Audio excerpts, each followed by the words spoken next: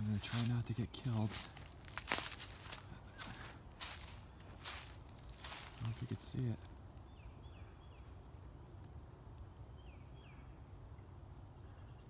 Um, I think I'm gonna back up a little bit.